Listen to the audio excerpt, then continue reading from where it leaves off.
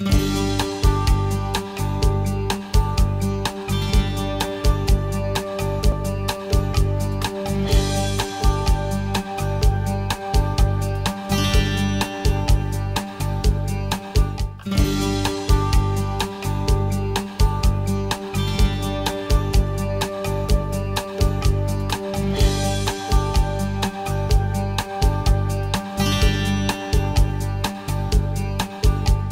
¿Qué tal? Bienvenidos y bienvenidas a la entrevista de la semana, este espacio de actualidades de Telaracena cada jueves. Hoy nos venimos a otro espacio maravilloso, otro bonito rincón de nuestro municipio, a esta plaza conocida popularmente como la plaza de Pepe Galván, antigua huerta Pepe Galván, y un lugar que bueno, nos inspiraba un poquito con el tema que vamos a, tratar hoy. Vamos a hablar del Día Internacional de Acción por los Trastornos de la Conducta Alimentaria, eh, era ayer, día 2 de junio, nos lo traemos este jueves.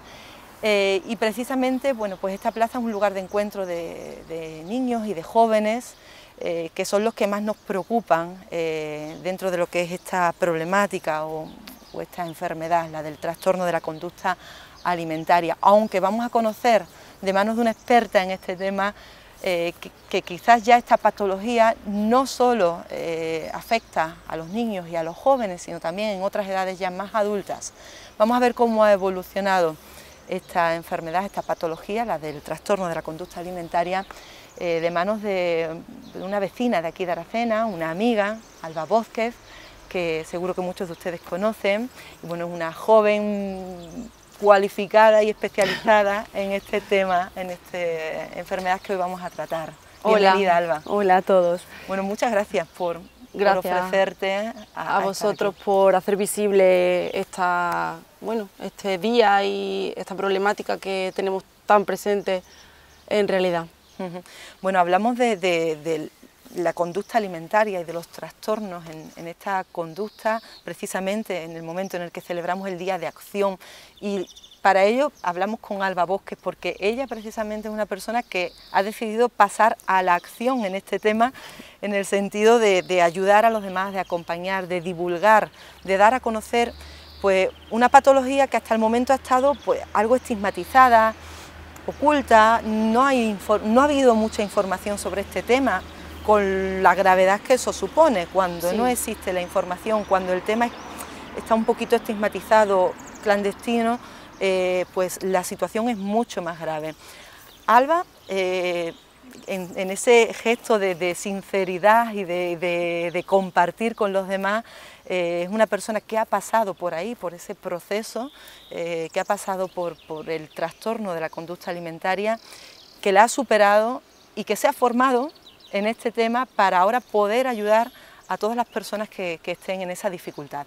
Ella es psicóloga especializada en, trastornos de la conducta alimentaria y has decidido pasar a la acción, Alba. Qué mejor, ¿no? O sea, qué, mejor forma de entregarte, ¿no? Que después de haber pasado la experiencia y de tener ese conocimiento que quizás pasando por ahí es como mejor se puede compartir, ¿no? Sí, quizás una vez que has pasado y luego además te formas en ello, es como que empiezas a entender muchas de las cosas que antes no entendías, ¿no? Y también estás en la parte en la que entiendes a las personas que lo sufren porque ya lo, has vivido, aunque cada caso es un mundo, como en todo, porque no hay ningún caso igual a otro, pero sí es verdad que, bueno, pues que ya tienes las competencias profesionales y además las competencias personales adquiridas por haberlo superado, o sea, vivido y superado. Tiene la doble formación, la de la teoría, la de la experiencia y ya también la, de, la del conocer otros casos que, probablemente igual no, ha sido, no han sido exactamente como el que tú has vivido, pero que acaban complementándote un poco en este camino, en esta trayectoria ¿no? de, conocimiento.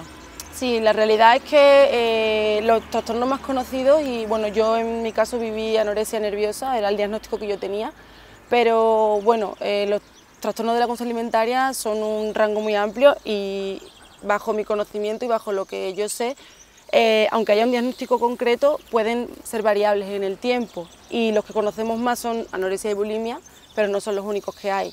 De hecho, hay mayor prevalencia en otros trastornos como son el trastorno por atracón o el trastorno de la conducta alimentaria no especificado, que este último es el que engloba algo de todos, pero no cumple criterios para ser diagnosticado como ninguno en concreto.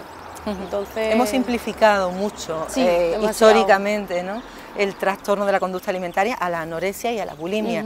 Y, no hemos comprendido todo lo demás que además podían ser bueno o, casos diferentes, patologías diferentes dentro de, la misma rama o, pasos previos a quizás esa complicación final. ¿no? Exacto. Es que va todo como enlazado, no hay un diagnóstico aislado de todos los demás, al final son una serie de comportamientos que derivan en, un patrón de conducta y en, bueno, y en un trastorno eh, que recibe un nombre porque reúne, bueno, porque al final clínicamente tienes que ponerle un nombre para poder intervenir o para poder actuar. Parece que, el llamar a, esto patología es quizás un nombre muy, muy grande. Bueno, sí, quizás. Eh, ahí entra un poco también la controversia de esto, ¿no? ¿Hasta qué punto esto es una patología o esto es una conducta? O, sea, ¿cómo lo calificarías tú mejor? Pues es que al final, cuando una conducta empieza a hacerle daño a la persona y es autodestructiva, pues, eh, y, es una serie de comportamientos autodestructivos y repetitivos, se convierten en una patología pero porque es un, es un daño que te estás haciendo, es una enfermedad que tú has adquirido o, que tienes. Entonces, bueno, el nombre patología, pues sí, no es un nombre bonito, la verdad, pero ¿cómo, cómo le ponemos a cada cosa? Al final, cuando tú hablas con, con una persona que lo padece o cuando hablas con, con, un médico utilizas términos diferentes, no utilizas lo mismo para dirigirte a la persona que para hacer un intercambio de información clínica o con un doctor o una doctora. Con un doctor hablaríamos de patología, claramente. Quizás sí. Pero con un paciente, con la familia, con la persona, quizás el hablar de conducta sí. es el punto de partida también, ¿no? Sí, hablamos de, de, un problema conductual mm, en relación a, la alimentación. Es un problema conductual al fin y al cabo. Mm, ¿Dónde, empieza esto un poco? O sea, ¿cuál es el punto de partida? ¿Cómo se identifica eh, cuando está surgiendo el problema? Es muy difícil. Esta pregunta es complicada, es seguro de afrontar. Porque ¿dónde empieza a ser enfermedad y dónde no? ¿Dónde está la línea que separa eso? Pues es complicado delimitarla porque a lo mejor mm, si siguiéramos estrictamente los criterios que nos dicen que debemos seguir para diagnosticar eh, un problema, eh, se nos pasarían un montón de casos sin ser identificados porque no cumplen todos los criterios. Entonces, el problema empieza a surgir cuando la vida de la persona está siendo afectada por esta serie de comportamientos o por esta conducta. Si la vida de la persona está siendo afectada, bien sea porque eh, sufre una desnutrición o bien sea porque emocionalmente eh, está mal o porque no puede vivir sin pensar en tema de alimentación, deporte o lo que sea, ya empieza a ser un problema porque ya está teniendo conductas que son eh, complicadas y, difíciles de, vivir con ellas. Entonces, eh, el problema está en que la identificación es difícil hacerla eh, porque nos ceñimos a unos criterios. En el punto en el que nos encontramos a nivel social y a nivel, sí, a nivel social, pues hay mucha problemática porque estamos todo el tiempo mm, pendientes de cuerpos perfectos, de gente maravillosa que sale en las redes sociales, de vidas idílicas y todo el rato vamos buscando eso y los jóvenes tienen esos ideales y están creciendo con esos ideales. Entonces al final parece que es normal cosas que no son normales. Hmm. Dietas a edades súper tempranas, deporte compulsivo, que ahora parece que eso, que yo al revés estoy muy a favor del deporte, ¿no? pero que parece que mientras más deportes hagas, mejor eres. Bueno, mm, tampoco es eso, ¿no? Hay que tener como un término medio en todo. Entonces la identificación de estas patologías son difíciles porque además parece muy fácil cuando tú ves eh, un bajo peso o una persona que no come, pero ¿qué pasa en el caso contrario? Cuando hay un trastorno por atracón y la persona come en exceso. Socialmente está aceptado, no se ve como un problema, se ve como, oh, es que come mucho, ¿vale? Pero ¿por qué? Deberíamos preguntarnos por qué, eh, qué está ocurriendo en, esos hábitos, por qué se están dando. En fin, es que ahí hay, es una pregunta muy compleja y cada caso tiene que ser estudiado muy eh, con cuidado y con, mirando todos los puntos, porque nos podemos confundir. Sí, quizás la anorexia nos llama mucho la atención porque, mm. claro, físicamente impacta, pero estamos muy acostumbrados, está muy normalizada la imagen de la obesidad a nivel mundial, ¿no?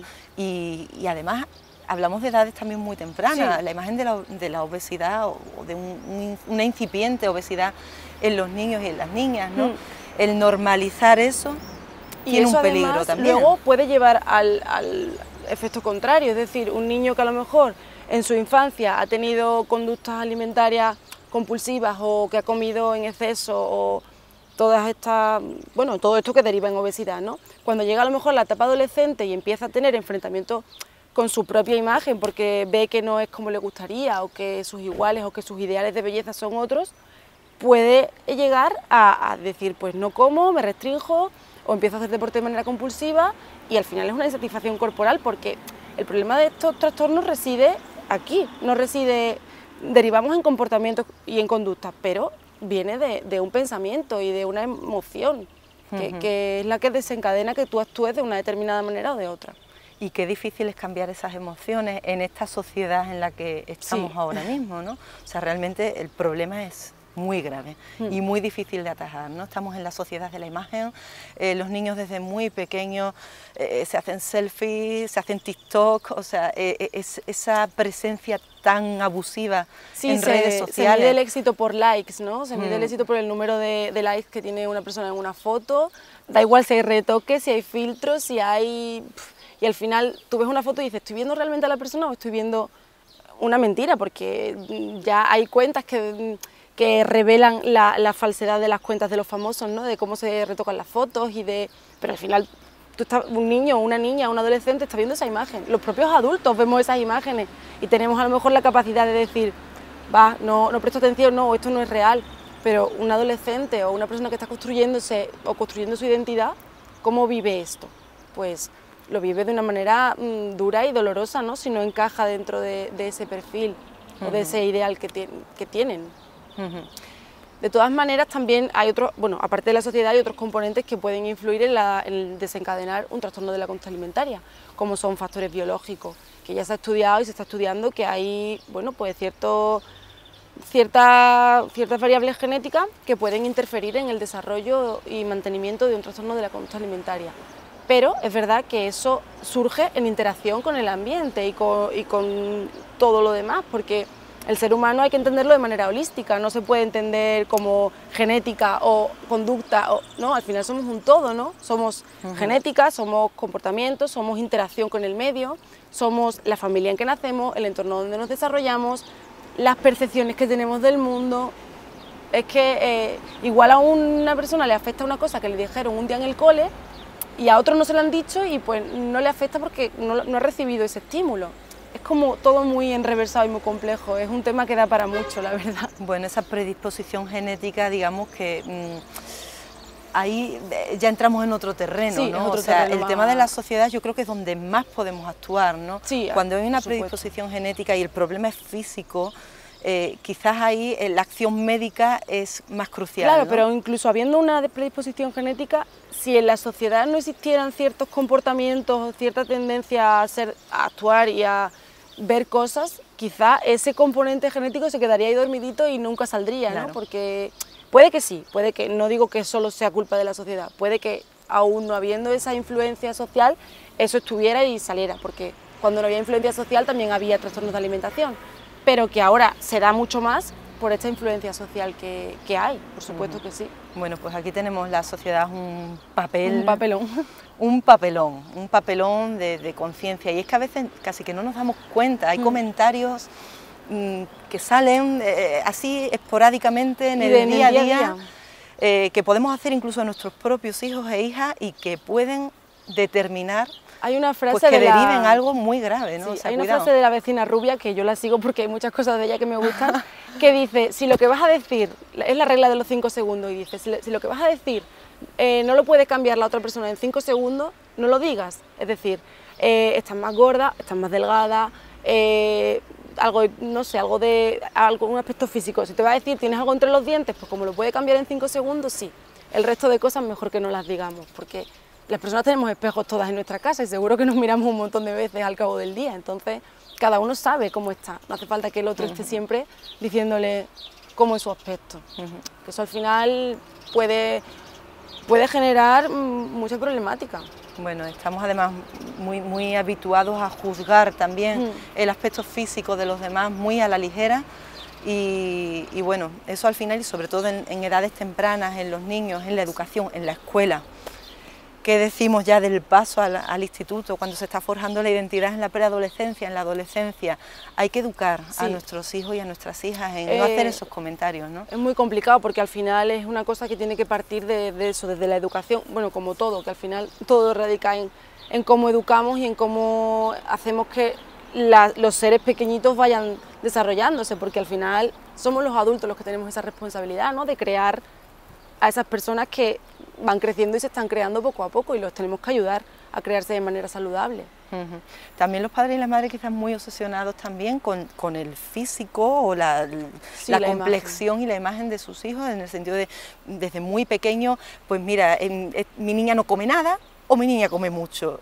O sea, y hay una competitividad. ¿por qué estamos tan centrados en eso? ¿no? no solamente con la alimentación, sino con la agilidad de los niños, cómo realizan actividades físicas o cómo son de torpes, porque eso se escucha en plan, que mi niño es muy torpe, no. Quizás tiene menos competencia a nivel de destreza motora o física, o, pero no, no le digas al niño que es torpe porque es que va a crecer con esa idea. Y es como que sejamos mucho la pues las identidades, porque desde pequeños les estamos diciendo cómo son. Tú eres así, tú eres eh, listo, o tú eres torpe, o tú eres eh, gordo, o tú eres flaco, o tú no comes, o tú sí comes. Entonces, tenemos que, hombre, tenemos que estar pendientes, pero hay cosas que no se deben decir delante de, los niños ni de los adolescentes, ni bueno, ni comentar, simplemente pues trabajar en educar en esa línea que creemos que sea saludable. Educar en otros valores, que no mm. sea únicamente el físico, eh, hay muchas más cosas Muchísimas más. que hay que poner en valor. El físico es Aunque por supuesto la salud, o sea, hay que cuidar la salud, no el físico. Claro. y, disociar eso es difícil, ¿no?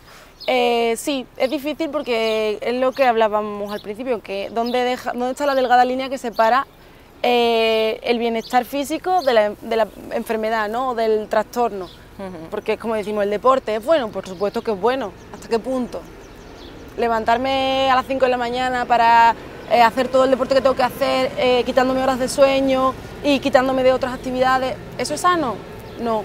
Comer saludable pero ir a un cumpleaños y privarme de tomarme un trozo de tarta porque considero que eso no, pues a lo mejor tampoco eso es sano, porque a nivel emocional, ¿qué te está generando el no comerte un trozo de tarta? Ansiedad, sentirte aislado del grupo porque todos los demás se lo están comiendo.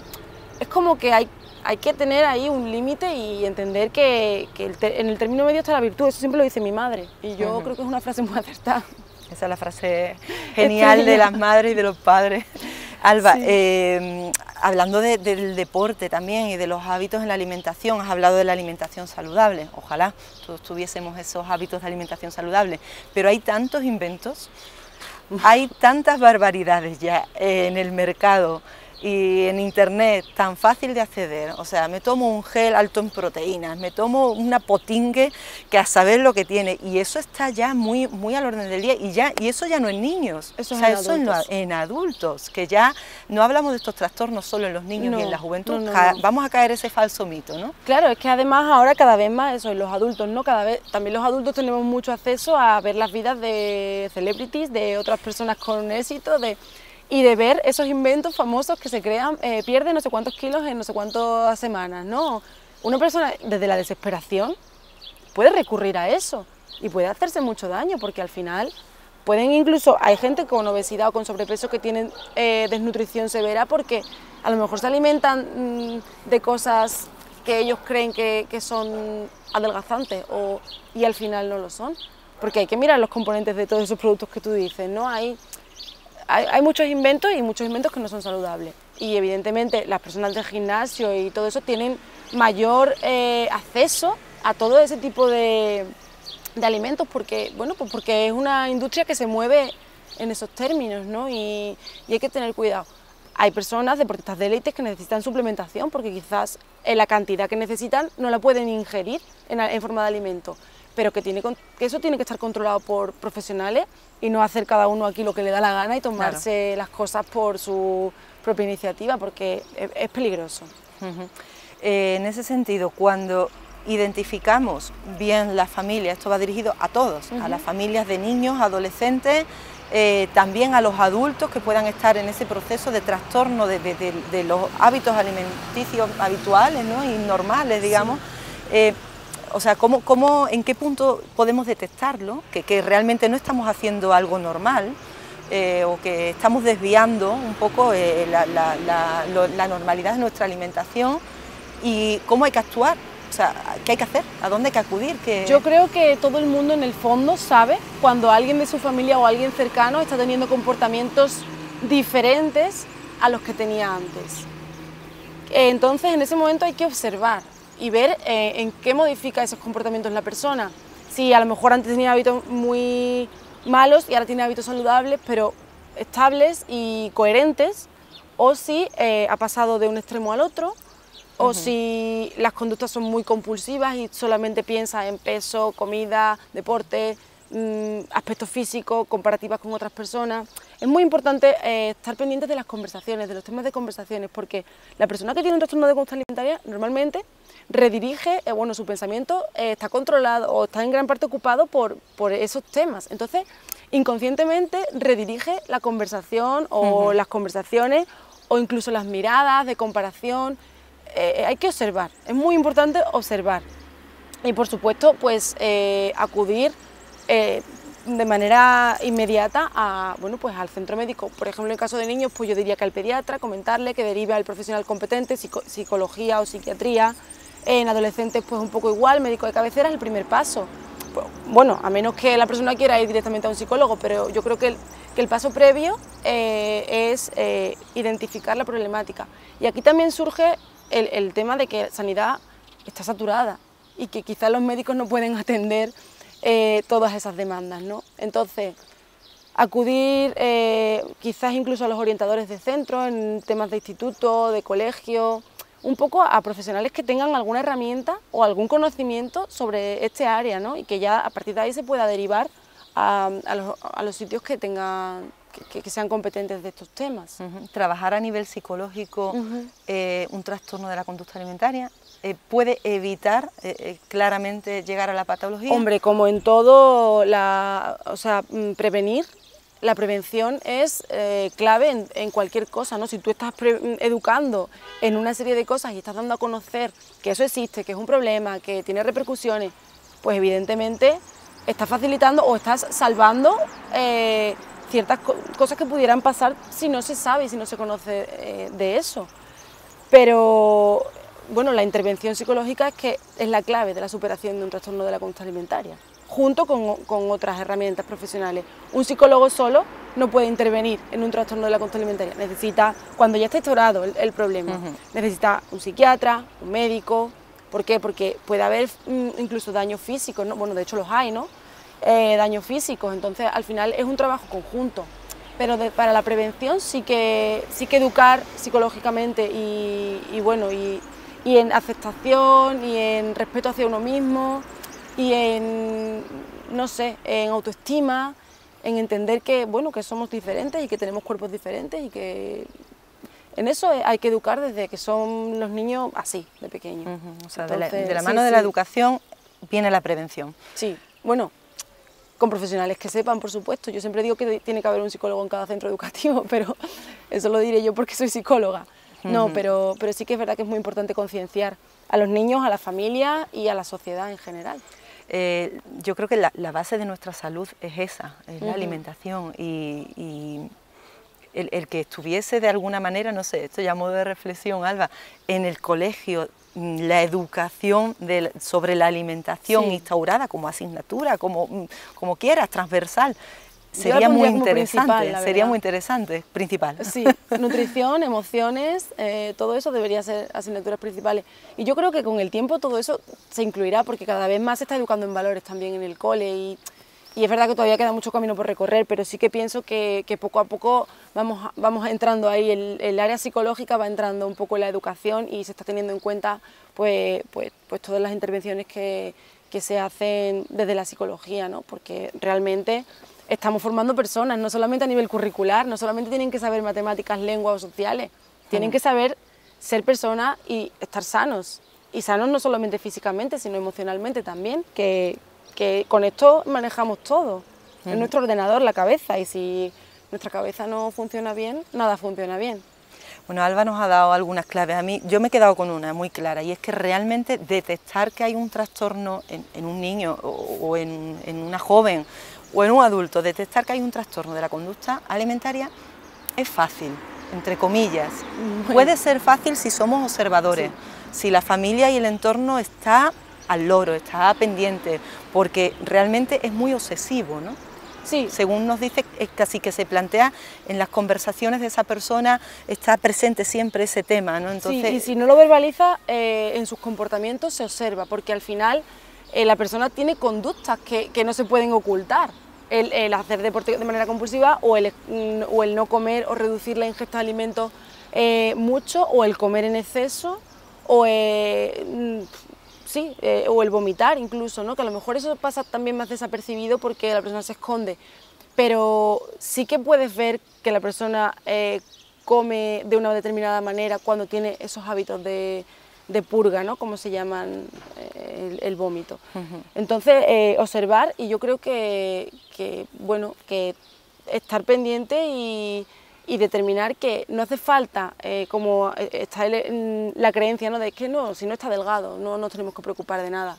No, es que no está, el problema de la conducta alimentaria no está en el peso, ni está en la ropa que se ponga, ni está en las cosas que, en que salga o no salga, no, está en, en, otra, una persona puede tener un trastorno de la conducta alimentaria sin estar delgado o delgada, sin vestirse, porque antes decían también, no, es que las personas con trastorno de la conducta alimentaria se ponen ropa ancha siempre, ya eh, no, se, ve que no, que incluso la persona cuando se está viendo que se gusta, porque dentro de su criterio de belleza se está viendo bien, pues incluso se tiende a exhibir más, ¿no? Es decir, que es que hay unas creencias mm, preadquiridas que no coinciden para nada con la realidad. Una persona no tiene que estar delgadísima para tener un trastorno de la conducta alimentaria. De hecho, puede estar en normo peso, en sobrepeso y en bajo peso también. O sea, que hay variabilidad que la gente cuando dice trastorno de la conducta alimentaria espera ver a una persona muy delgada y no, para nada es así. Y eso es muy importante tenerlo en cuenta. Bueno, hay que informar, ¿eh? esto, esto, que hoy está haciendo Alba con nosotros, compartir estos conocimientos, yo creo que va a ser muy interesante pues, para muchas personas. Y, bueno, eh, hablando un poco de la cronología de los pasos, hemos hablado de educar para prevenir, observar y detectar y quizás el siguiente paso es otro paso también difícil para el entorno, para las familias, para los amigos, que es eh, eh, el asumir que esto está pasando y actuar, ¿no? Porque a veces, y eso en los padres y en las madres ocurre mucho, mm. que no queremos ver, que no queremos ver lo que está pasando y actuar a tiempo y meterle mano a eso debe ser muy importante. Eso es, mm, bueno, claro, lo más importante es actuar, porque al final si tú lo detectas pero no haces nada, pues el problema sigue ahí y además creciendo, porque ese problema mm, no se va de repente un día por arte de magia, hay que trabajar en él y hay que incidir en él. Eh, la familia, los amigos, los que estén alrededor de la persona que padezca o que parezca padecer esta problemática, eh, deben reconocerlo ¿no? y pensar que, no pasa nada, que, es un problema igual que tenemos gripe, igual que tenemos otros problemas. Es que parece que la, eh, salud mental está muy estigmatizada ¿no? y da mucho miedo decir tengo un problema mental porque uno mismo ¿no? piensa estoy loco. No, eh, es una enfermedad como otra cualquiera, ¿no? que puede ser transitoria, que se puede superar. Aquí estoy yo, que la he pasado y ahora soy psicóloga, que cualquiera diría, bueno, una persona con que ha pasado un TCA puede, pues yo me he formado y estoy completamente recuperada y sí existe la recuperación total. Que hay, gente que piensa que no y hay gente que, que fácil no es, evidentemente, y que hay que un trabajo fuerte detrás, pero, pero es posible y, hay que actuar y hay que reconocerlo sin miedo y decir, bueno, pues tengo este problema y voy a trabajar por, por solucionarlo, ¿no? porque es la única manera que tenemos de, de solucionar problemas actuando. Y además el superar el problema, hay que pensar también en el sentido de, que va a ayudar después a muchas más personas, porque Alba está ayudando seguro a mucha gente que está pasando por esto y bueno, la experiencia, el haberlo superado, el conocimiento que te ha dado todo esto seguro que está siendo muy útil. Eh, seguro mucha gente de Aracena está acudiendo de alguna manera. Yo siempre digo que tuve, que tuve, un antes y un después después de la enfermedad, o sea, de, esa enfermedad y es una realidad. Yo como persona eh, cambié eh, al superar esa enfermedad con las vivencias que tuve en ese momento. Entonces fue, sí, es una experiencia no agradable, porque no es agradable, pero bueno, sí enriquecedora al final. Hay una palabra clave que tengo por aquí apuntada, de esas que me ha dado Alba antes de empezar la entrevista. Eh, creo que algo ya hemos hablado de eso, pero la, etiología, o sea, ¿por qué eh, a algunas personas eh, se les desencadena, digamos, el trastorno y a otras no, teniendo el mismo entorno, las mismas circunstancias? Es lo que hablaba antes de lo de, la simbiosis, bueno, de la genética, el ambiente y todo esto, ¿no? Pues hay personas que tienen una tendencia a lo mejor innata a ser, pues tienen una personalidad autoexigente, eh, muy, como muy calculadora, muy obsesiva. Hay personalidades que son así. Eso también se trabaja. No, hace falta llegar a tener un problema o un trastorno para trabajar eh, eso, ¿no? Tú tienes que saber que tú eres una persona con cierta tendencia a ser muy autoexigente y tienes que decir, eh, eh me tengo que bajar aquí el listón y tengo que relajarme un poco, si no... Porque es verdad que hay, un, hay estilos de personalidad que están más asociados a, a sufrir este tipo de trastornos, ¿no? Son personas a lo mejor, pues eso, pues obsesivas, eh, no obsesivas como enfermedad, sino personas con tendencia a, a pensar mucho en las cosas, ¿no? o personas muy autoexigentes que necesitan estar siempre perfectas y que todo esté perfecto y tenerlo todo controlado. Y esto al final son estilos de personalidad, que cada uno somos diferentes, ¿no? Mm. La genética también influye, como he dicho antes, hay gente que que no hay muchos estudios muy concluyentes acerca de esto, pero sí que hay ramalazos por ahí de información que dicen que hay una, serie de, bueno, un patrón genético que, deriva en este tipo de trastornos también. Yo en mi trabajo de fin de carrera hice un, estudio de trastornos de personalidad y trastornos asociados a trastornos de la conducta alimentaria y, bueno, eh, se encontraban resultados en los que eh, se veía que había perfiles de personalidad, como los que he descrito, que se asociaban directamente con este tipo de, trastornos. Entonces, pues ahí hay una, relación que, está y que no podemos obviar. A lo mejor alguien que sea más pasotado, que le da igual todo, pues tiene menos probabilidad de padecerlo. Depende un poco de muchísimos factores. Como he dicho antes, cada caso es un mundo y hay que observar cada caso de manera individualizada porque, claro, lo que le afecta a uno a otro no le puede afectar y al revés. ¿Cuáles son los valores que, tenemos que, tener muy claros en, las personas en general, pero sobre todo en los niños, en los adolescentes? ¿Qué hay, que fomentar? ¿Qué hay que, pues hay, que, fomentar que, el valor de una persona no se mide ni, ni por sus éxitos eh, físicos, ni por sus éxitos académicos, ni por sus éxitos, eh, digamos, lo que se puede medir, ¿no? con, un peso, con una nota, con un, con un número los valores son otros, ¿no? Los valores al final es eh, pues, la solidaridad, el compromiso, la empatía, todas estas cosas que te forman como persona, mm, como persona para la sociedad, porque somos seres sociales y tenemos que vivir ayudándonos unos a otros, ¿no? Y, en una sociedad, no de manera individual. ¿De qué te sirve tener mucho éxito contigo mismo si no eres capaz después de serlo, ser exitoso con los demás, ¿no? O ser una buena persona pues al final hay que educar en esos valores que son los que te, los que te vas a llevar y los que van a dejar huella en la vida, ¿no? Cuando estemos ahí, no tendremos estos problemas. ni el cuerpo ni nada, porque... Cuando estemos en esos valores que, son tan importantes. Sí, yo siempre digo que hay que pensar cuando, bueno, cuando uno acaba su trayectoria vital, ¿no? Cuando llegas al final de la vida, tu cuerpo va a estar como el de todo, mm, como una pasa, ¿no? O tus conocimientos, sí, tus conocimientos a nivel eh, todo lo que has aprendido a lo largo de la vida, sí, pero lo que aprendiste, que sacaste un día en el examen de historia de tercero de la ESO, eso tampoco, ¿no? Entonces hay que, hay que tener en cuenta otras cosas que, que son más importantes, que, que, no se miden con un número, se miden pues yo creo que viviendo y, compartiendo con los demás. Y por último, Alba, me gustaría un poco por, venirnos al momento que, estamos viviendo, estamos todavía en, en pandemia, hemos vivido un confinamiento seguro que esto ha afectado mucho a las personas, bien que estaban ya diagnosticadas eh, con esta enfermedad, o incluso ha llevado a, que se inicien de alguna forma en estos trastornos jóvenes que se han metido en casa y que han estado todo el día frente a las pantallas.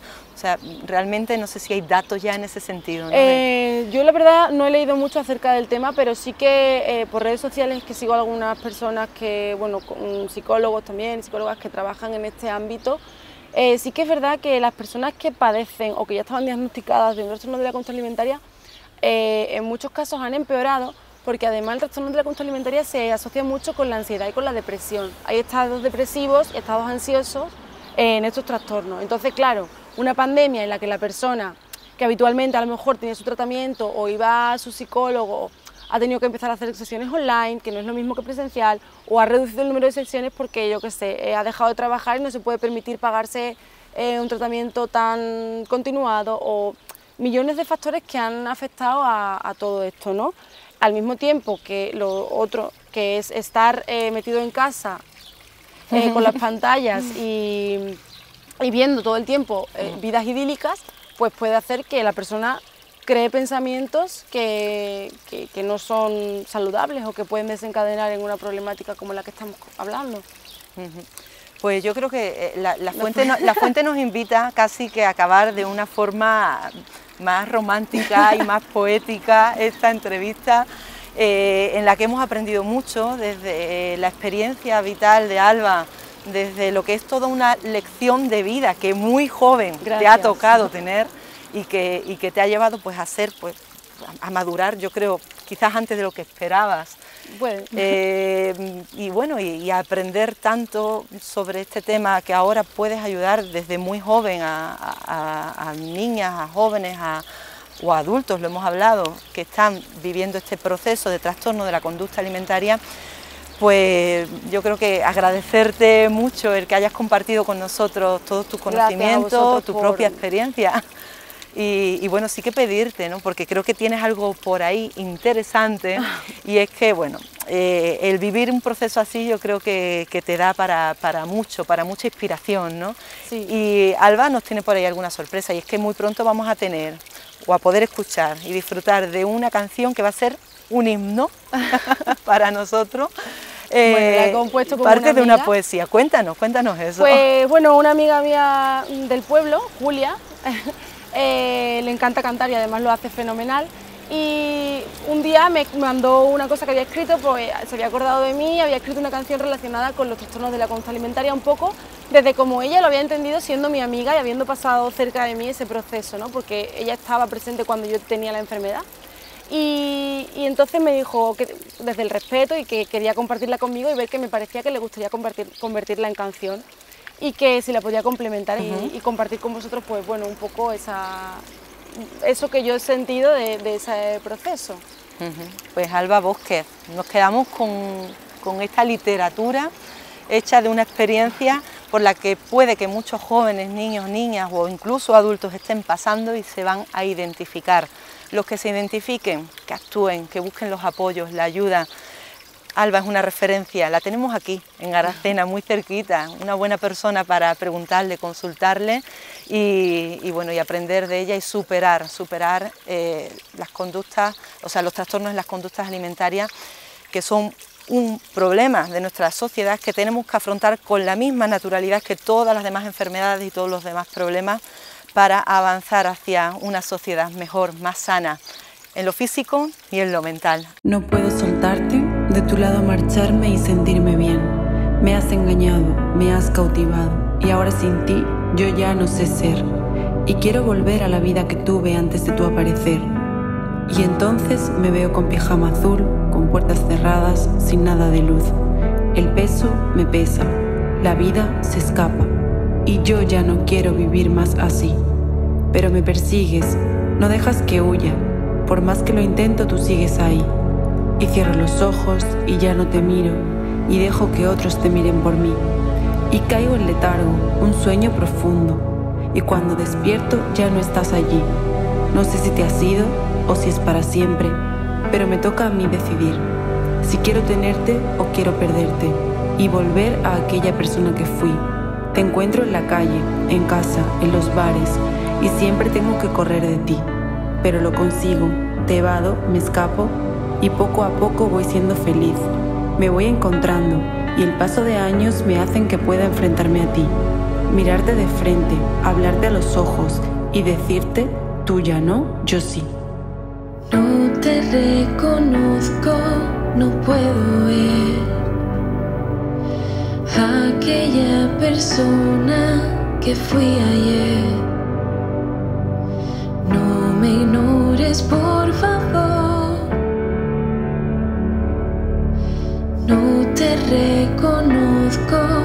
ayúdame. Me invade el miedo, no me abandones, que yo sin ti no lo lograré. Juntas podremos y llenaremos este vacío entre el alma y la piel.